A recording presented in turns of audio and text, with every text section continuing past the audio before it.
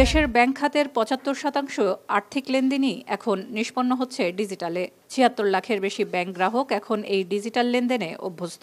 সঙ্গে মোবাইল ব্যাংকিংকে কাজে লাগিয়ে দু হাজার সাতাশ সালের মধ্যে ক্যাশলেস সোসাইটি গড়ে তুলতে চায় বাংলাদেশ ব্যাংক। ডিজিটাল ট্রান্সফরমেশনকে আরও বেশি গতিশীল করতে উদ্যোগ নিচ্ছে ব্যাংকগুলো আর দেশি বিদেশি আইটি কোম্পানি বিনিয়োগকারী ও প্রতিষ্ঠান নিজেদের গবেষণা ও সম্ভাবনা তুলে ধরে অ্যাসোসিয়েশন অব ব্যাংকার্স বাংলাদেশ এবিবির আয়োজিত ব্যাংকিং অন ডিজিটাল ট্রান্সফরমেশন সম্মেলনে Bcash has based on their ecosystem and their users pattern. What we are doing is based on our users pattern. Maybe partner is doing the same, but we need more pre-scores to understand the better rating from the customer perspective in general. So people would have to be looking into how exactly the regulatory board is looking at it and make sure that you know there there is enough rules and regulations in place for us to play safely on a buy now pay later model. would be more prominent in the future where BNPL is more customized for the B2B segment, which who needs it the most, honestly. They're the most underrepresented and it's not a luxury purchase for them, it's their livelihood.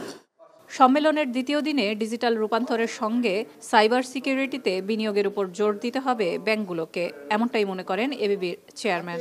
একটা bank যদি বিনিয়োগ না করে একই সাথে শুধু প্রযুক্তিতে করে, তাহলে সর্বনাশ হওয়ার একটা সুযোগ আছে। কাজে আমরা আহ্বান করব সকলকে একই সাথে, যেমন প্রযুক্তিতে আপনি বিনিয়োগ করবেন, একই সাথে লোকবলে বিনিয়োগ করবেন, আপনার প্রসেস ডেভেলপমেন্ট প্ল্যানিং অর্গানাইজেশন এবং সাথে সাথে এই যে সাইবার সিকিউরিটি আর ইনফরমেশন সিকিউরিটিতেও আপনারা বিনিয়োগ করবেন। ডিজিটাল লেনদেন বিশ্বের আর্থিক খাতকে সহজে সংযুক্ত করেছে।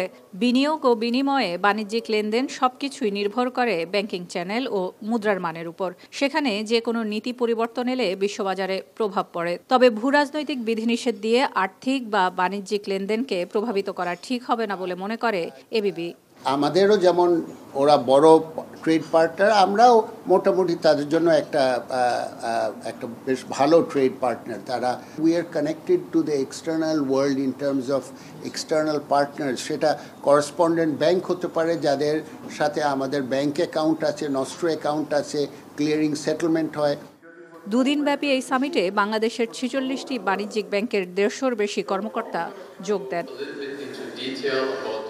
সেলিয়া সুলতানা, এখন ঢাকা।